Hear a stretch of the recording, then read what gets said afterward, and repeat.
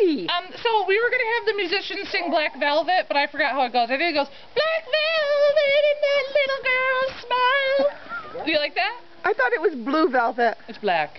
There is a song called Blue Velvet. Uh, See? is it that for you old people? Yeah. Well, haven't you ever heard of Black Velvet though? Yes. Um, yeah. um, I can't remember who sings it, but Mhm. it's a good song. it, it And, is. and whoever sings it should stick to singing it, and not the person that just did, because it's pretty bad. Yeah, because it really wasn't recognizable. Uh, sorry, you know. you like these trees. Um, how cool am I? Miles, I you, you're adorable. I'm ador. I, I like that guy. He sings. what, what Miles was it that Um, sang Ford it? Niles. Ford.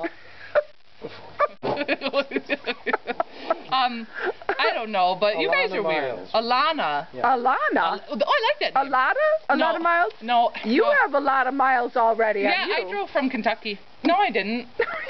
Virginia. Virginia. West Virginia. Oh, we're so confused. Oh, we need Oh, coffee. I think so, too. We too. need a, an IV drip of coffee. That would be good. Um, but you, hey, guess what? A patch. I don't have a tail. Do they and that's important to some patches? people. You don't have a tail. Okay, we need to mention this. Oh, don't and I got drive from Washington, D.C. for this dog. Because I don't have a tail. Yeah, and then right. turn around and say, oh my god, it doesn't have a tail. We have to go. Bye.